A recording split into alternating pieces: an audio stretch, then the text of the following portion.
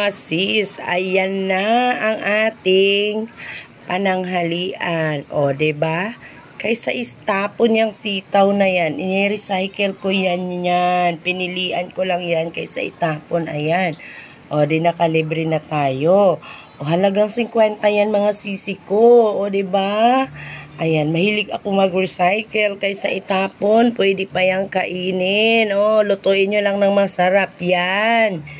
Diba? Haluan nyo ng konting karne, sibuyas, bawang o may dalawang tokwa. Pwede na yan dalawang tokwa at di naman sila mahilig ang aking mga anak dyan. Kunting lagyan nyo ng konting sabaw kung mayroon kayong mga anak. Yan adobo sitaw. Ang gagawin natin para lumasa at maging yummy, lalagyan nyo lang yan ng oyster sauce. Ayan. Timplahan nyo ng konting magic magic para malasa, sibuyas, bawang, at toyo. O, ba diba? Bala na kayo kung anong toyo ang gusto nyo dyan ilagay. Basta, adobong sitaw yan. With pork and tokwa. Okay, babu.